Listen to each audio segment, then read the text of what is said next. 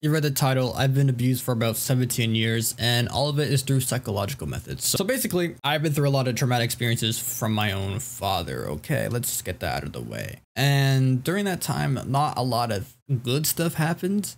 I don't remember a lot before I turned 16, but I remember is just very specific moments that happened. And throughout this video, I'll be reading from an old diary I've wrote on, which was online on Discord, which is really embarrassing to admit, but I used to share almost everything in a chat room to complete strangers online. Kind of, kind of embarrassing. So I'll be reading off of that for the things that I have said in the past. And I couldn't talk about this before because due to court issues. The reason I'm bringing bringing this up now is because the court issues has been um, done for quite a while, and now I can talk about these freely. The reason I make this video is because I don't want the image of me looking perfect or happy all the time 24 7 like how most social media does online. And I don't want to have that happen for me. So I want to be vulnerable and talk about this as straightforward as possible without trying to break any community guidelines because some of the stuff that we talk about is quite not awesome. So yeah. At the convention, we were supposed to go and set up early in the morning. The entire family, we were vendors. We got up at around 5 or 4 a.m. to go set up. My dad was already in a bad mood. When we arrived at the convention at around 6 to 8 a.m., my dad got mad at us for not being there an hour before of what he said. When we were at our booth, my parents wanted us to help out. So a little bit of context for the between 8. So the convention started until like like way way later, like 10 a.m. or 11 a.m. So like we still had like 3 to 4 hours to prepare. But since like my dad wanted to be there way more earlier than these time frames, he still got angry. Even though we set up on time and everything was fine, it was just it was just stressful if we didn't meet like his his unrealistic standards for our family during the time. Um, my parents wanted us to help out. Whenever we did something, it seems that we create bigger problems. So me and my little brother sat down doing nothing the entire time. By the time the convention started, my dad was having a bad vibe towards us, but not towards the customers. I eventually walked around with my little brother at one point. I still feel stressed out about it. I was waiting for my friend to arrive. I'm so glad he was going to make it. I couldn't handle being around my family. He got there after a while, but he got there. We had fun for a couple hours before they had to go. I walked around with my little brother again, going shopping around the vendors. It was a nice break from the parents. When the convention was closing, we were packing up. It took us to 12 a.m. to finish. Me and my little brother did nothing because we knew we would create a bigger problem. Once we left the convention, we went to go get dinner. I can't really go to conventions anymore with my dad because I'm afraid this is going to happen again. My parents were arguing about something. I don't remember. I remember it was scary. It was all a blur. All I had to do was wait, hear the arguing, and be afraid. Since me and my little brother didn't have a voice to say anything, we looked horrified. I think I remember it was something super fucking stupid. We were deciding on whether to go through the drive through or not. We looked ridiculous driving around parking lot. My parents was basically saying no drive through, drive through, or something like that. The thing is that my dad was making a big fucking deal about it, like life or death situation. We parked the car because I think we were gonna go inside. My dad said that he lost his appetite or something. My mom tried talking to him. My dad eventually said he was walking home alone. He left the car and left us alone in the parking lot. We all didn't believe what we saw. I was worried about a lot of things. I tried to toughen it out because I didn't want my little brother to be scared, but I couldn't. My mom started crying, then I believe my little brother was. So much shit happened. So many questions came through my mind. My dad has a bad knee or hip or something. The walk home was a few miles. I wasn't sure he was going to make it. Was he going to be alright? Was my mom going to be okay? Is the little brother okay? What happened? Why did he leave the car? Why did I go to the convention? Was it all my fault? Was my little brother's fault? I was just asking questions I had little to no answers to. All I had to do was wait and see the answers myself. My mom was sobbing over what my dad did. We were driving away to go home. We saw him sitting alone at the bus stop while we were driving away. I was surprised. My mom didn't even try to pick him up. I didn't even recognize who my mom was. It was like as if I was kidnapped by people that I don't know and had no power to stop it from happening or escape the situation. Me and my little brother told her why she didn't pick him up. She said that she didn't want to pick him up. I tried being tough. I tried my best to not be scared so that little brother isn't scared, but I failed that. My mom asked if we were okay. I said I wasn't. I said I don't recognize her or my dad. Me and my little brother also said that we were scared that a divorce was going to happen. She said she might get a divorce. We didn't know how to react to any of this shit. All I was doing was sobbing in the car full of fear. She asked us some questions. I remember them, but I don't I do remember being crying a shitload. God, I'm such a fucking pussy. Before we went to the house, she said she would pick up dad. We both said yes, but I was second guessing myself and my mom knew that. She called dad to ask him if he wants to get picked up. He didn't really have a great tone. He was like, what do you want? My mom said the boys were worried and if she should pick him up. He said that if she wants to. They were basically repeating it until my dad hung up saying, I gotta go, my phone's about to die. My mom didn't want to pick him up. We went back home to pack up the convention stuff. My dad eventually pulled up with an Uber.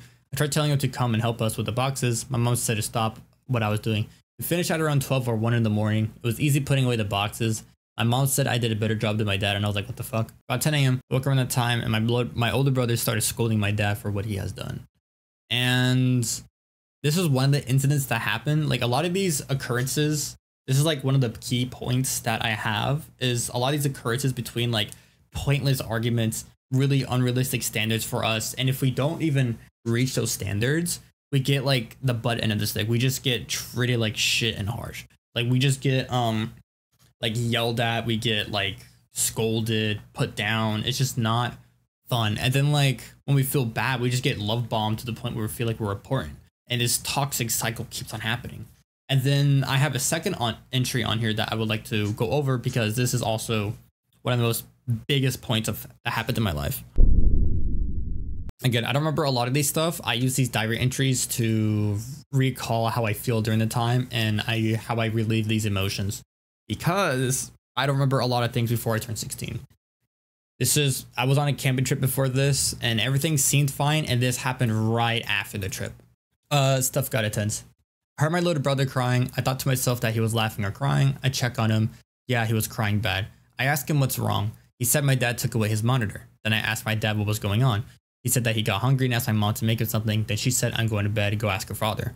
My little brother got into a grumpy mood saying, I don't want this, I don't want that.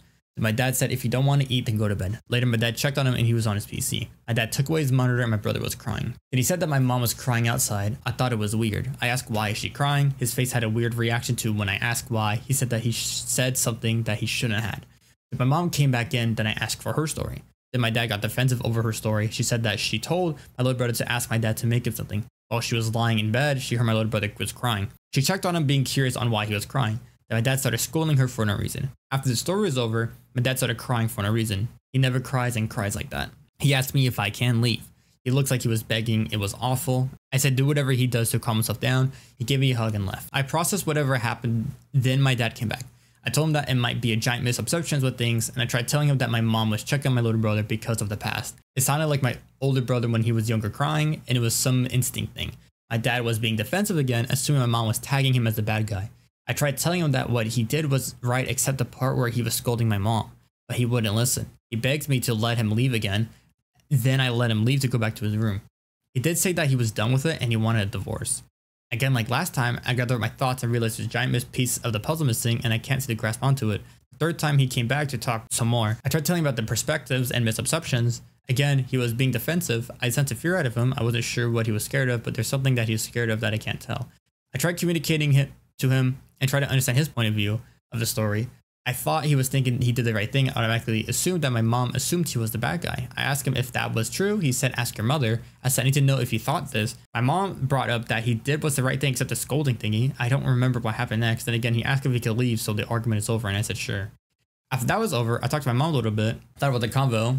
Anyways, I was, I was like really trying to be like thinking and hardcore for this. I used to be a lot of delusional. I used to be really delusional back then. I used to take inherits traits from my own dad. He was into like conspiracy theories and about all these things.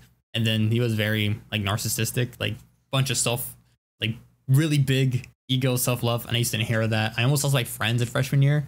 So when I see like about like these stuff, these are part of my delusional thinking. I, I believe.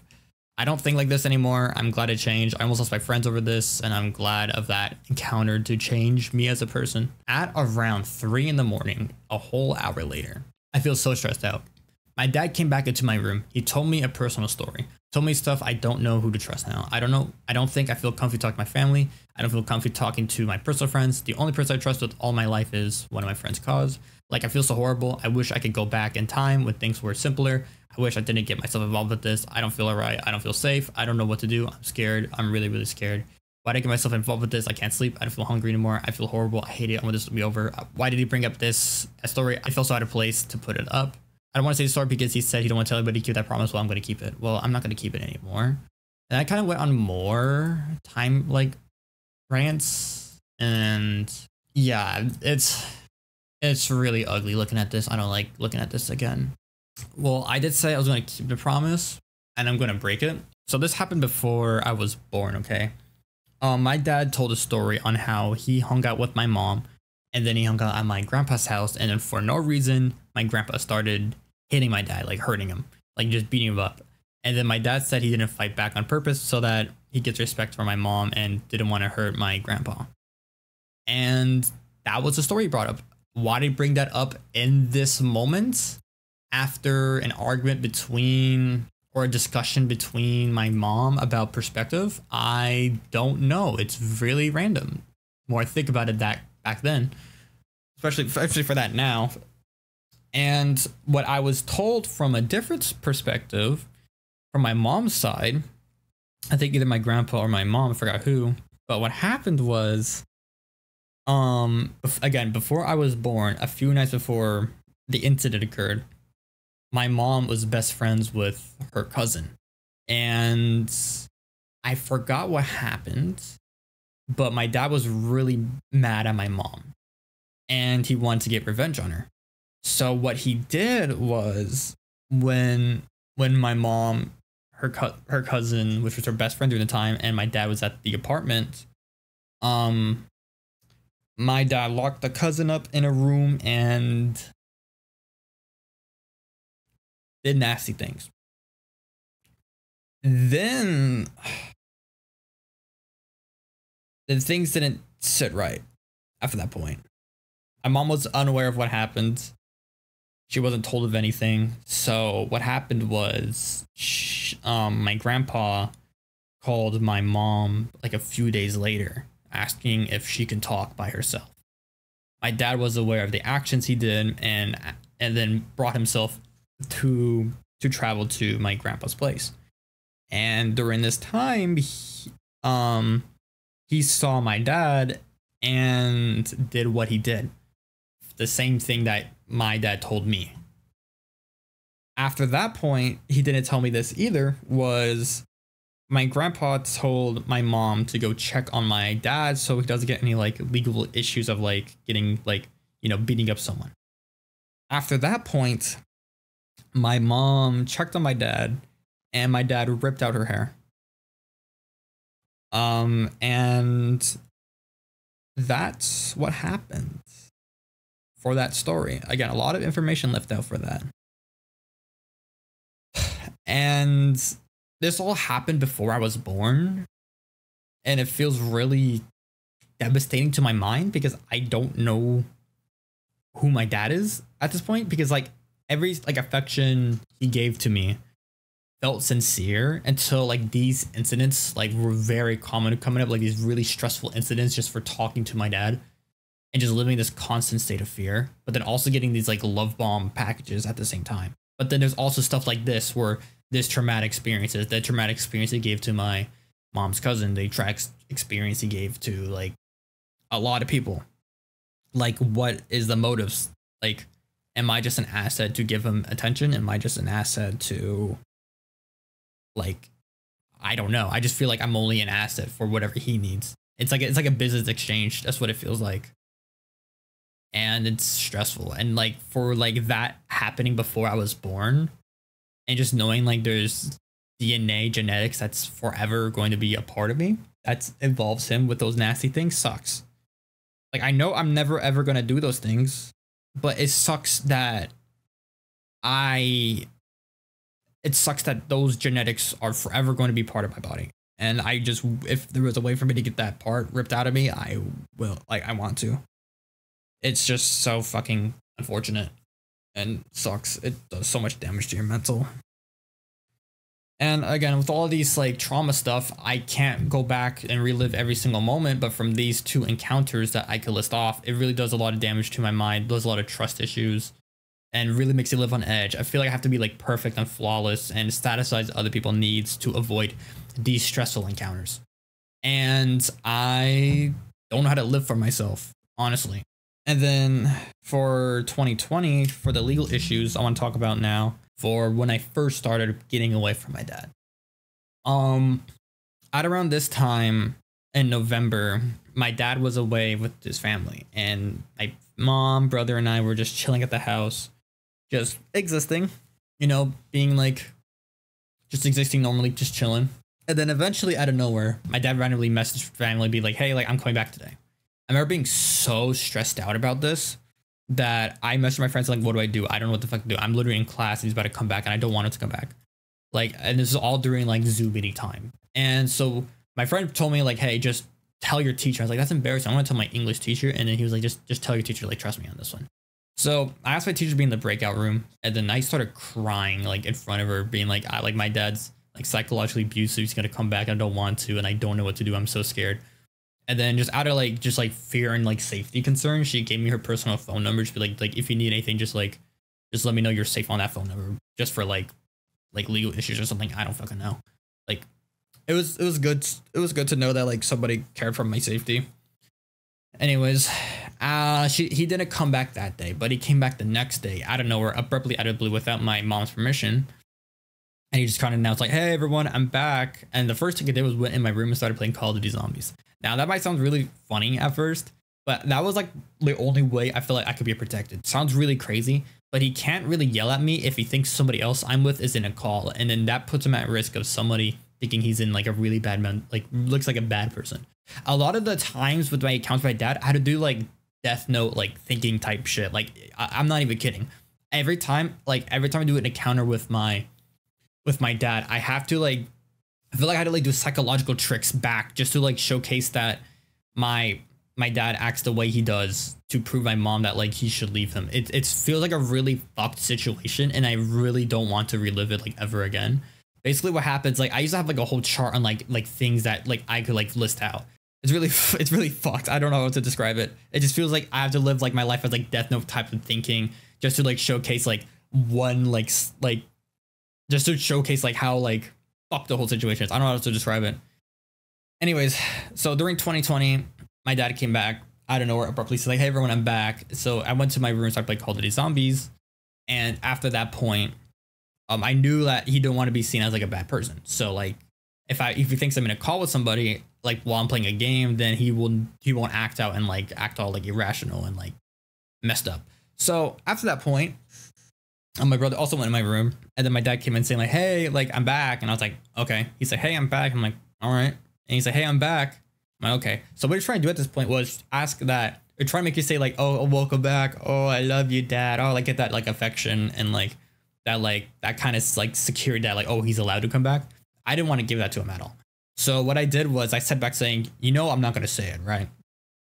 And then my dad's got all like me, like all mean and like butthurt, and be like, oh, like wrong? Like, I forgot what he said. And then I just said like, I don't know what the fuck I did wrong. Like, what what did I do wrong? Like, like just asking like, what did I do wrong? I I don't know what I did wrong. I didn't do anything wrong. And then my brother was like in the room all like scared looking. And then my dad saw him and he was like, hey, you want to look at my souvenirs? And he was like, oh yeah, sure. So they left the room. After that point, um, like they went to check out souvenir stuff. My mom told him like, hey, let's let's go outside for a little bit. I want to discuss some things with you. So my mom discussed stuff with him about like the household. He asked, she asked if he could leave again so that you know we could have the house. We have a lot of space, uh, three bedrooms, you know, for all of us to, to have in while we take time away from him. And he said no.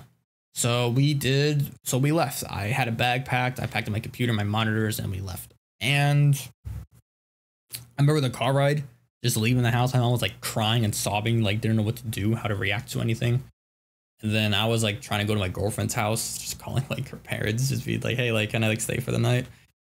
And then so I sat my girlfriend's place for the night and I was just processing everything. I was like, oh my God, what the fuck is going on? And then I set up my computer the next day on her house temporarily to go do Zoom meeting stuff. It was not, it was, it was, it was scuffed. It was really funny. I'm grateful that they helped out. And then after that point, I went back to my mom's friend's place because that's where we're staying at. And that was, I felt peaceful there for a little bit. And then after that point, my, the next day of that, my mom's account, bank account got drained. No money.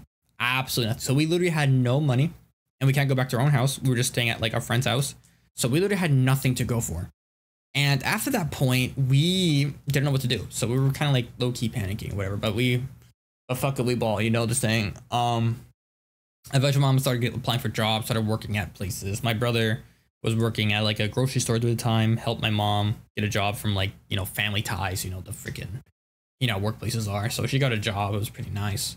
Oh no, she was working with my friends, her friend, her friend it was her friend, and then she applied to like my brother's job place, which is pretty chill. And after that point, after a while, my mom filed out an emer- emergency restraining order so that my dad could get kicked out of the house, and eventually we would get our house back. And then now that's what we're living at right now. And during that time, there were some complications. Like my mom was out late night, just trying to process everything, and then she didn't really communicate with us about like when she'd get back, which I have no hard feelings for because of just like I can't imagine being a single parent and like going through all that fucking experience all by yourself and like not knowing how to like do that. Because my mom had like I've been like a like I've been like a full time mom for like again like like my entire life up to that point.